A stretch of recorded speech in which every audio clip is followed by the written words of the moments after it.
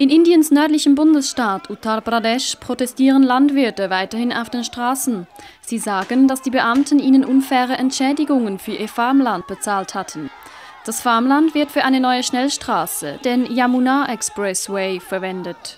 Im neuesten Handgemenge letzten Dienstag nahe Agra wurden mehrere Polizisten und örtliche Beamte verletzt. Die aufgebrachten Landwirte protestierten gewaltsam gegen die Behörden und gerieten heftig in Konflikt mit der Polizei.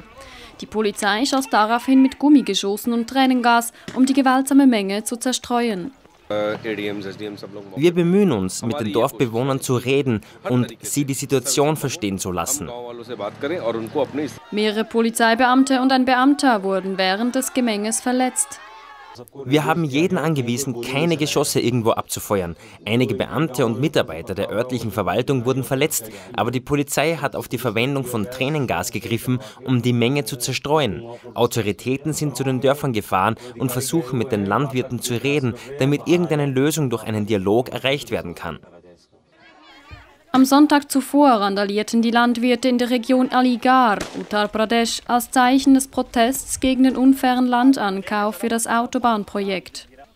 Die Regierung kaufte das Farmland für die Yamuna-Schnellstraße, die einen Vorort von New Delhi mit Agra verbinden soll. Die Fertigstellung wird für nächstes Jahr erwartet.